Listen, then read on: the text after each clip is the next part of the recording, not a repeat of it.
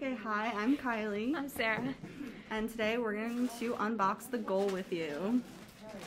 So we got some sponges, a timer, Comes with a timer, sponges, some clothes, neatly packaged, another sponge, some tape, cutting and crayons, lock and key, we also have some Play-Doh, some utensils, tennis ball, some worksheets, and a clipboard. okay, and then the sports. Yes, She has some and some score sheet. And then we'll go through each one too as we go through the seven different um, like assessments that it does.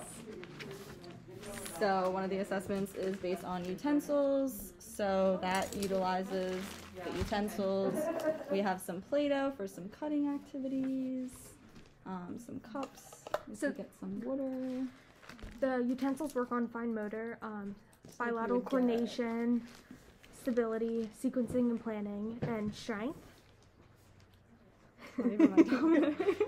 you nervous. I'm so Um, so another fine motor activity would be using the lock and key.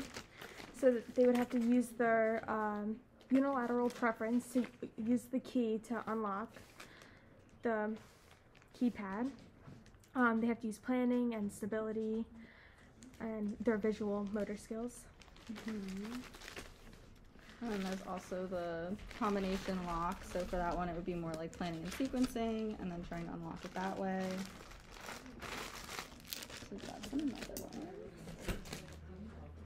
Then we also have a paper box activity, which is a couple of sheets with some things that the kids can color. And then they also can work on things like cutting with that to cut them out, folding, taping. And then that is a lot of different things planning sequencing there's the proprioception it's tactile Stability and endurance.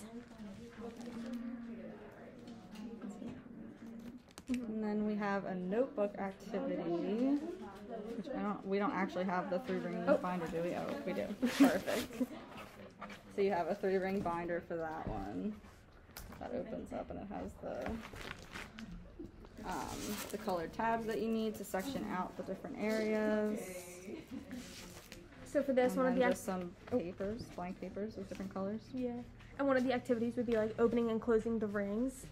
Um, and that works on bilateral coordination, stability, and proprioception. Oh, that did not close. Okay. And then we also have clothes, which are so you have the child, you would like kind of lay them out. We have different colored T-shirts, so you could do kind of what would that be like visual, like one? Yeah. So you could say like which color they should grab. And organizing. And then we have some shorts as well. Um, and that one was just pretty much the vestibular, the proprioceptive, planning to like plan which one you're asking them to do, balance while they're trying to put the shirts on or put the pants Mm-hmm. on. And endurance, because it does take a lot And of effort. then you can also like test like their speed of like how proficient they are in dressing themselves. So comes with that. okay The next one is ball play.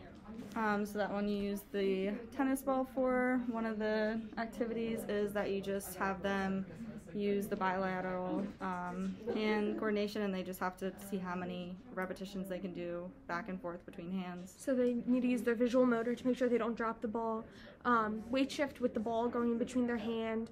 Uh, temporal and spatial organization and endurance. Mhm. So that's one of those. And then there's also like a toss. Um, There's dribbling, kicking it, mhm. um, different ones. There's also a tray carry activity. This is the one that you need the most space for. So you need at least a 20 foot long and 5 foot wide hallway or room. so that you can have two chairs and then you can have them carry the tray from one side to the other, um, which is like they give you a clipboard for that. So this would be the tray. You would use the cups for that as well, fill them with water, have them on here, and then they're carrying the tray from one chair to the other. And that's looking at that um, vestibular, proprioceptive. You're looking at their alignment, their stability while they're doing it, balance, weight shifting because of the water and stuff. And speed. And then just kind of overall like planning and sequencing too of how they're going to do that. And that's it. So That's that the is the goal.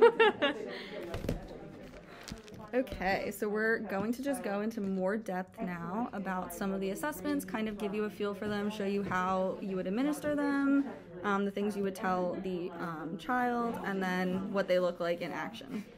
So the first one is a fine motor task. Um, we're using utensils, and so and Play-Doh, and so they're gonna the child will use this knife and a fork and cut the Play-Doh into ten pieces about um, a half an inch thick. And so this one is based on speed, so they have to you would time them to see how long it takes to cut into ten pieces. hmm And then they're going to be like stabilizing with the fork. They have to use bilateral coordination, planning, sequencing. And you're making it more than, but that's okay. We all, we, we're just like set and making things more difficult for ourselves. Well, remember, this is a lab activity, so it's rated ten, nine, eight, zero. I know you do. Um, we strive for success here. Ten would be great, though. Yes. Okay, and 10. So then after that, you would have your stopwatch that you would be timing them with, and then you would see how long it takes them. And then there's um, three different categories. So it can either take them from 61 seconds to 120, 31 to 60, or 30 seconds or less. And then that's how you score them for that one. Um, so then the next activity we are looking at is the notebook. So it would be assembly. So this one is assembling your three ring binder that comes with the kit. And then you have some different colored papers in it. And Yellow, blue, and white. and divided. Oh god. So for this one, you're going to be administering it by telling them how to set it up, like step by step. If I can open this.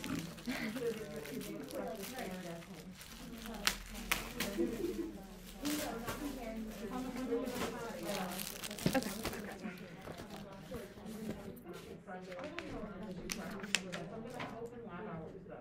Okay, so So, like we said, when you open the notebook, you'll see there are some rings inside. You can open the rings like this and close them. So you open them and close them.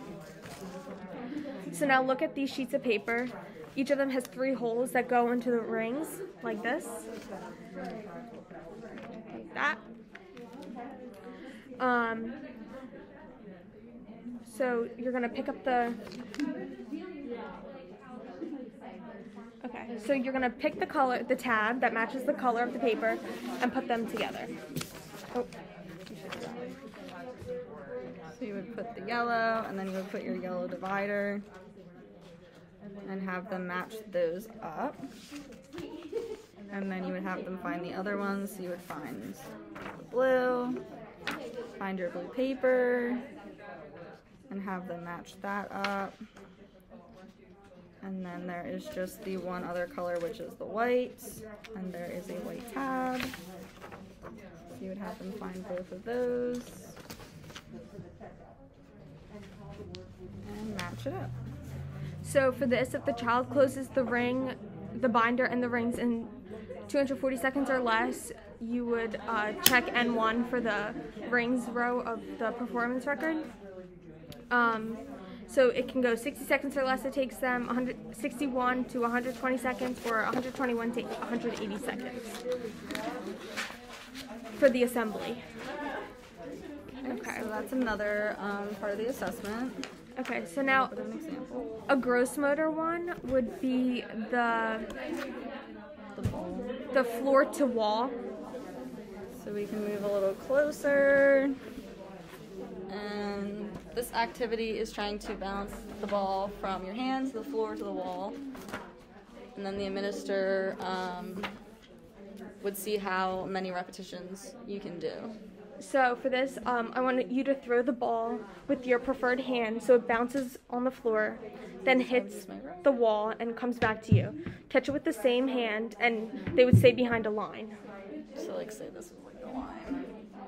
So the goal would be to see how many times the child can do this within 30 seconds.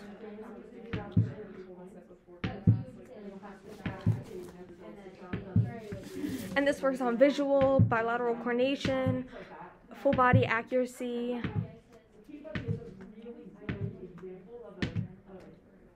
Perfect. So that is some of the assessments in a little bit more detail. Thank you. That's the goal.